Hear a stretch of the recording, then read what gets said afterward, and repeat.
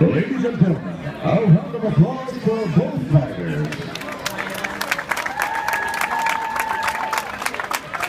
After three rounds of action, it comes down to the judges' scorecard, and the judges have scored a split decision.